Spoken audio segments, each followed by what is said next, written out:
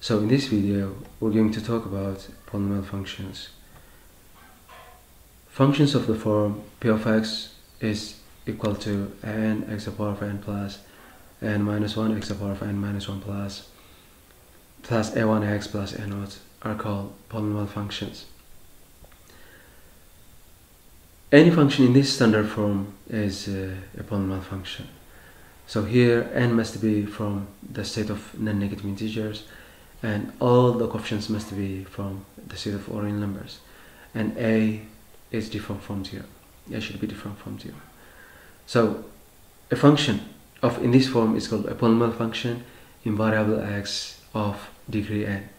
You can you can find uh, functions like in, in different forms and then if you can write those functions in the standard form of any uh, polynomial function of this form, you can consider them as polynomial functions. So here there are basic terms that you have to know within any uh, given polynomial function. Uh, considering putting the given polynomial function uh, in a standard form, so uh, here an x to the power of n, an x to the power of n is the leading term, then an is the leading coefficient, n is the degree of the polynomial, and a naught is uh, the constant term. And an, n minus 1, a1, a naught are uh, the coefficients of uh, the polynomial functions. These are the base terms that you, sh you should you should understand from uh, any polynomial function. So n, n minus 1 uh, up to n, a naught are called the coefficients of the polynomial. The number n is called the leading coefficient. n x to the power of n is the leading term. A naught is uh, the constant term. And n is uh, degree of the polynomial. Degree of the polynomial. So uh, when you when you work on polynomial functions, we uh, you always consider number from uh, set of uh, real numbers, numbers from set of real numbers. So the function is always valid. You can consider any arbitrary number as value of x, and then the, the, function is always uh, defined. So you can conclude that, you can generalize that the domain of uh, every polynomial function is the set of all real numbers.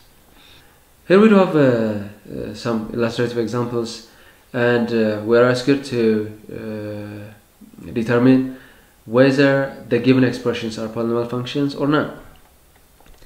So let's let's see each of them. The first one, f of x is uh, uh, given by 2 over 3 x to the power 4 minus 12 x squared plus x plus 7 over x, 7 over 8. This is a, a polynomial function. It's in the standard form of a polynomial function and uh, its leading term is over 3x to the power 4 its leading coefficient is 2 over 3 its constant term is uh, 7 over 8 and the degree of the polynomial is 4 by the way degree of the polynomial is uh, uh, the, highest exponent. The highest exponent.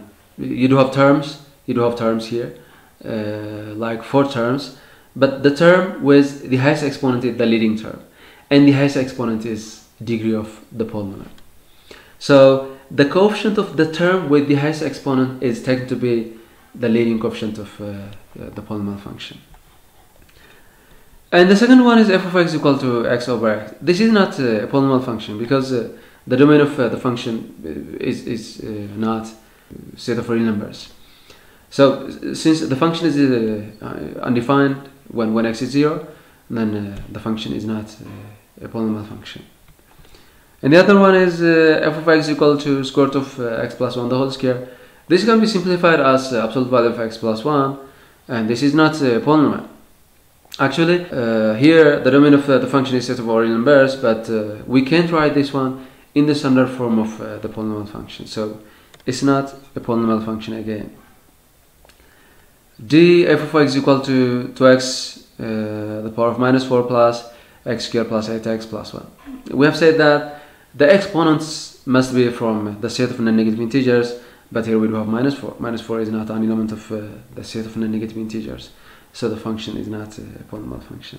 The last one is k of x equal to x squared plus 1 over x squared plus 1. Uh, but this is a polynomial function. Its domain is set of real numbers, and, and we can we can put in the standard form of any polynomial function just simplifying the given expressions so uh, it's equal with uh, k of x equal to 1 and uh, this is a polynomial function and now you can describe how the lower case of functions are polynomial functions those are linear functions quadratic functions constant functions and zero functions.